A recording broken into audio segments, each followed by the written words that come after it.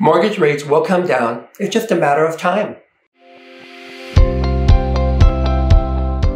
The last few months of this past year, we've seen rising mortgage rates that have slowed the red hot housing market. Over the past six months, we've seen fewer homes sold than the previous month as home price growth has slowed. All of this is due to the fact that the average 30 year fixed mortgage rate has doubled this year, affecting home buying power for consumers. Last month, the average rate for financing a home briefly rose over 7% before coming back down into the high 6% range.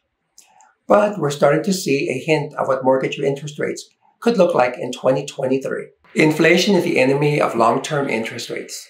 As long as inflation is high, we'll see higher mortgage rates.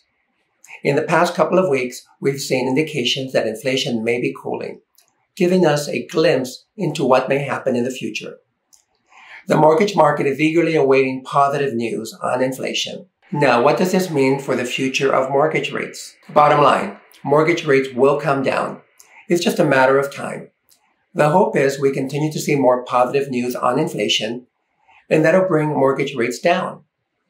This will give prospective home buyers more buying power and lead to more homeowners throughout the country. Keep in mind that real estate has its mind of its own and cycles every few years. We are going to be fine going into the new year. As history reminds us, sellers still have to sell and buyers still have to buy, regardless of the interest rates in the past. So if you have any questions about trading up to a new home, or selling your existing home, feel free to give us a call at any time at 602-920-0306 or send us an email. We can help you make the right decision for whatever you decide to do.